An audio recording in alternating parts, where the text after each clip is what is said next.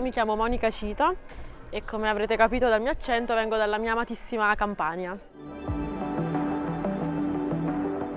Ho pensato questa cosa, o lo faccio adesso oppure me ne pentirò per tutta la vita, non lo farò mai più. Ho visto su internet questo bando, tra un mese iniziano i test. Ho prenotato questo Flixbus da Napoli Metro Park a Torino, dopo 12 ore sono arrivata, ho fatto il test. Appena ho varcato la soglia di questo cortile ho detto io da qui non me ne voglio andare.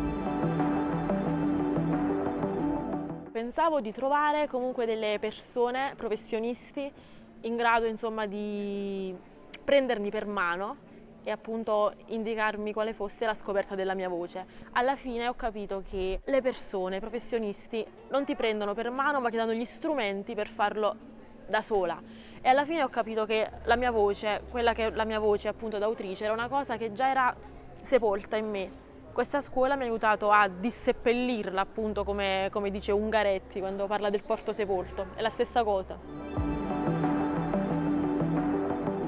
la correzione del, del cimentone, cioè il primo romanzo breve che abbiamo scritto l'anno scorso. Sono cose che hanno contribuito a, proprio alla formazione della mia identità, proprio come autrice, le ricorderò per sempre.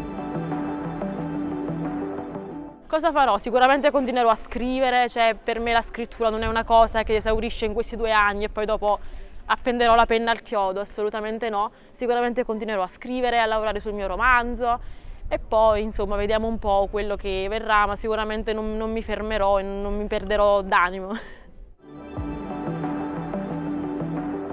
Vi siete mai chiesti banalmente perché, perché vi lavate i denti, perché mangiate la pizza, perché camminate? Semplicemente è una cosa a cui non riesco a sottrarmi, non riuscirei mai a farlo.